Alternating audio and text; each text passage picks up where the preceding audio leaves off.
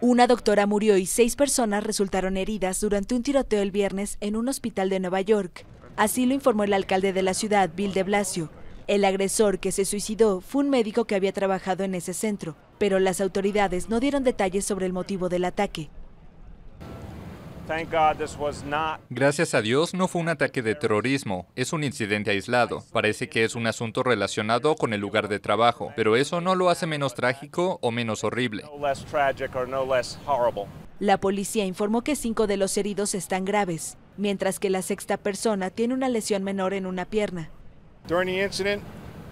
Durante el incidente, la alarma de incendios del hospital se activó, aparentemente porque el sospechoso intentó prenderse fuego. En el piso 17, los oficiales encontraron al hombre sospechoso tendido en el suelo, muerto, aparentemente de un disparo autoinfligido. Un fusil de asalto fue encontrado cerca. El hombre vestía una bata blanca médica.